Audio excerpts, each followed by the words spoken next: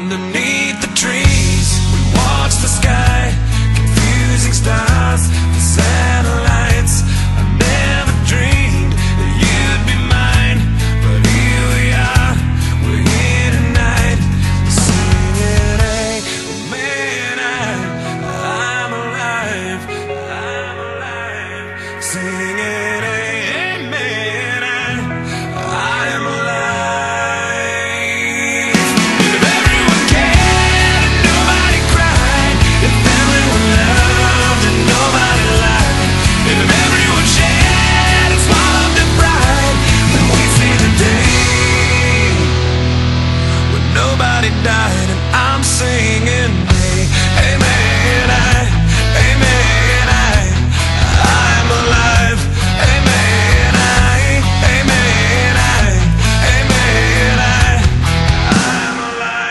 And in the air.